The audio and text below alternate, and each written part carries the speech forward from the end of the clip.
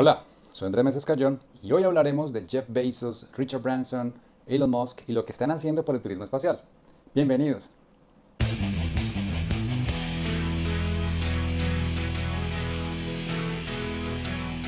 El turismo espacial existe desde que Space Adventures y Roscosmos, la agencia espacial rusa, llevó a 7 turistas a la Estación Espacial Internacional entre 2001 y 2009 por la módica suma de 25 millones de dólares por persona.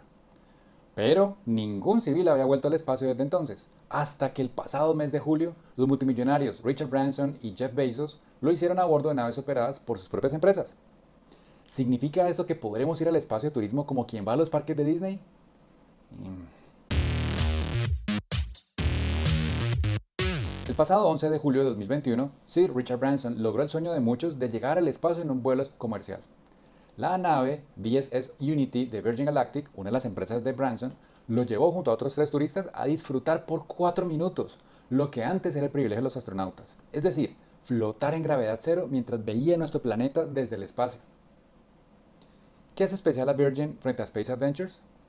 Primero, Virgin Galactic es la primera compañía privada en disponer de su propio puerto espacial, llamado Spaceport America en Nuevo México, Estados Unidos. Segundo, cobra una tarifa menos inalcanzable de 250 mil dolaritos por asiento. Tercero, cuenta con su propio sistema para llegar al espacio, sin depender de agencias gubernamentales como NASA o Roscosmos. El sistema consiste en un avión espacial suborbital de clase Spaceship 2, que sería la Unity, que es cargado hasta una altura de 15 km por otro avión, el White Knight 2. Allí se separan, la Unity sube a 85 km de altitud, donde el cielo se ve negro, se ven las estrellas y hasta la curvatura de la Tierra. Entonces, ¿se puede decir que ya está en el espacio exterior? Depende. En la columna anterior hablamos del límite jurisdiccional de Karman, según el cual, por encima de 83.8 kilómetros, termina la jurisdicción de las aeronaves y empieza la de las naves espaciales. Según este límite, la nave Virgin pasó raspando, pero por sus características aeronáuticas no tiene cómo llegar más arriba. Por su parte, el también multimillonario Jeff Bezos, pero no, Jeff Bezos, el fundador de Amazon y Blue Origin, se unió al club de turistas espaciales en una movida cuidadosamente mercadeada. Primero, voló el 20 de julio, en el 52 aniversario del alunizaje del Apolo 11, en un cohete llamado New Shepard, en honor a Alan Shepard, es decir, el primer astronauta de NASA a salir al espacio. Lo acompañaron su hermano Mark Bezos, el estudiante Oliver Damon, de 18 años, es decir, la persona más joven en ir al espacio, y la legendaria piloto Wally Funk, de 82 años, es decir, la más vieja en salir del planeta. El enfoque de Blue Origin es diferente del de Virgin Galactic. Su sistema, cuya forma le ha ganado a Bezos comparaciones con el villano de Austin Powers, está compuesto por la cápsula donde viajaron los turistas y el cohete New Shepard. El cohete llegó a 107 kilómetros, es decir, 7 kilómetros por encima de la línea de Karman, que es reconocida como la frontera del espacio exterior, aunque el New Shepard no tiene capacidad para llegar más arriba. Allá, la cápsula se separa y queda suspendida mientras sus tripulantes disfrutan de la vista y la sensación de ingravidez. Unos minutos más tarde, el cohete regresa a su base, mientras la cápsula vuelve al desierto de Texas cayendo en paracaídas. Los viajes de Branson y Bezos generaron reacciones encontradas.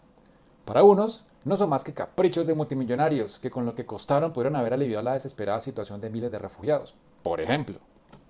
Después de todo, aunque no es despreciable el mercado de millonarios con los medios y el deseo de pasar unos pocos minutos en el espacio, pues, que es en esencia la oferta de Blue Origin y Virgin Galactic, este mercado no pasa de unos pocos miles de turistas. Y dado los elevados costos, pues no se ve como un gran negocio sostenible en el tiempo. Para otros, estos viajes de Branson y Bezos constituyen el primer paso hacia una industria privada que se desarrollará hasta permitir que el espacio y los planetas del sistema solar sean accesibles para científicos, mineros, colonos y fabricantes, no solo millonarios. Después de todo, así fue como empezaron los trenes, los buques transatlánticos y los aviones comerciales, con unos pocos millonarios que pagaron los primeros pasajes. Con el tiempo, crece el ecosistema de proveedores, materiales y servicios que por economía de escala hacen accesible la tecnología para otros públicos y otros usos distintos al turismo. Por otra parte, ir al espacio no es solo cuestión de dinero. En la década de 1960, ni siquiera el hombre más rico del mundo, seguramente algún Rockefeller, hubiera podido montar su propio cohete con juegos de azar y mujerzuelas como Bender. Por lo tanto, me parece alentador que ya sean varias las empresas con capacidad técnica de llevar turistas al espacio en vuelos comerciales. Y eso que no hemos considerado a SpaceX, que ya tiene programados vuelos para llevar turistas por varios días mucho más arriba. Es decir, estamos hablando de 400 kilómetros de altitud, es decir, la Estación Espacial Internacional. En conclusión, el turismo espacial puede parecer algo frívolo, pero su potencial de acelerar la industria espacial para beneficio de todos vale el esfuerzo. Además, si ir a Disney y al espacio exterior costaran lo mismo, compartir el sueño de ver nuestro planeta desde el espacio, bien vale sacrificar una foto con Mickey Mouse. Gracias.